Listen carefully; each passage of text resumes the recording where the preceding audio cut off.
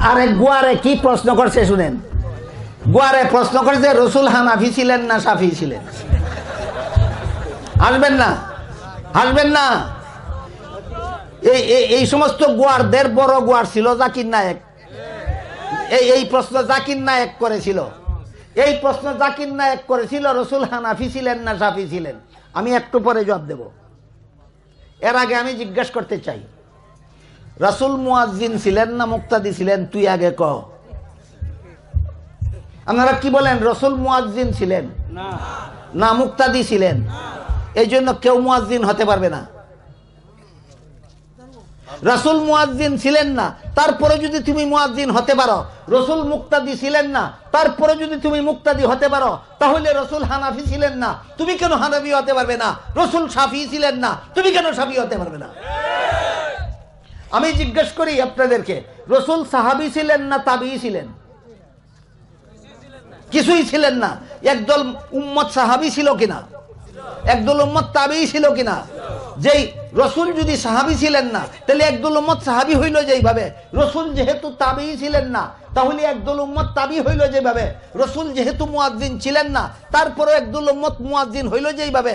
রসুল যেহেতু মুক্তাদি ছিলেন না তারপরে একদল উম্মত মুক্তাদি হইল যেইভাবে। ঠিক তেমনি ভাবে রসুল হানাফি ছিলেন না, একদল উম্মত হানাফি হতে পারবে। রসুল সাফি ছিলেন না, একদল উম্মত সাফি হতে পারবে। আসল ঘটনা কি?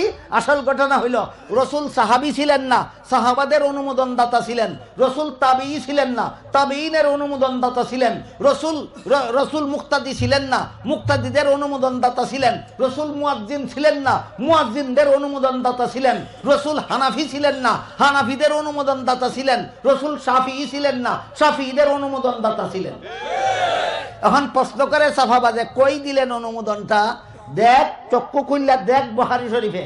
রসুল বলে গেছেন, ইদা হাকামাল হাকিমু ফাজতাহাদা ফাআসাবা ফালাহু আজরানে, ওয়া ইদা ইজতাহাদা ওয়া আখতা ফালাহু আজরুন ওয়াহিদ। ভিন্ন ভিন্ন মত হইলে এক একটা মতের নাম এক একটা মযহাব।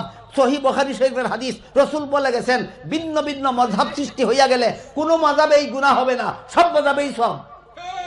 বলুন রসুল, হানাফি ছিলেন না হানাফির অনুমোদন দাতা রসুল শাফি ছিলেন, না শাফিদের অনুমোদন দাতা রসুল মালিকি ছিলেন, না মালিকিদের অনুমোদন দাতা রসুল হাম্বলি ছিলেন, না হাম্বলিদের অনুমোদন দাতা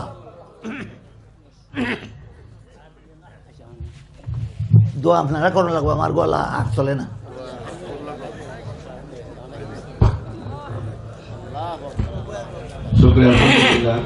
আলহামদুলিল্লাহ। আল্লাহ পাক হজরত হায়াতের মধ্যে বরকত দান করেন। আরও জোরে বলে আমিন